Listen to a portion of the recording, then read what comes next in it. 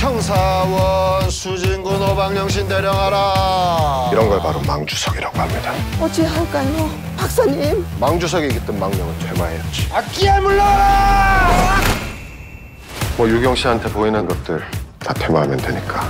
결국 우리가 상대하는 건 뭐다?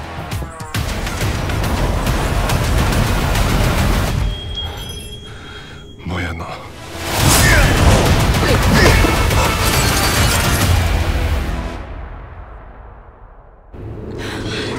보이잖아요. 사람 아닌 것들. 건당 천만 원이어서 천박사라고 들었어요. 청기를 잃는다고 해서 하늘천. 임별 씨는 어떻게 해요? 뭐 적당히 타일러 가지고 뭐 대화를 하거나 박사님 앞에 너 나 봤지? 저기요. 아니 내가 혼자 음향 터트려 폭탄 터트려 강도령 해가지고 감정 터트려. 멀티플레이? 아니 만방 와이파이 나무 동방 와이파이.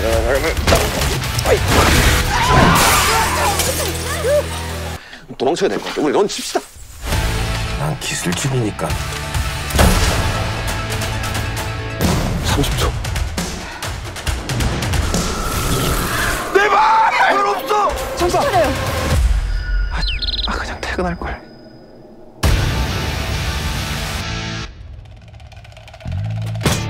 이거 깎고 녹이고 새로 찍어낼 거 생각하면 내가 손해야. 또 사기치면 지옥 갑니다. 지옥 전에 감옥 가요. 그뭐 방을 울렸다고 전화를 하는데 무슨 방을?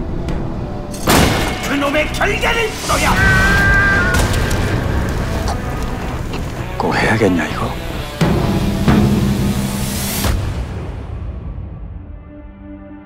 언니, 언니 갑자기 왜 그래?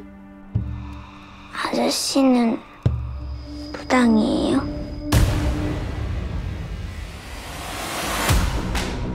긴장해. 네가 나타났었으면 다들 살아 있었을 텐데.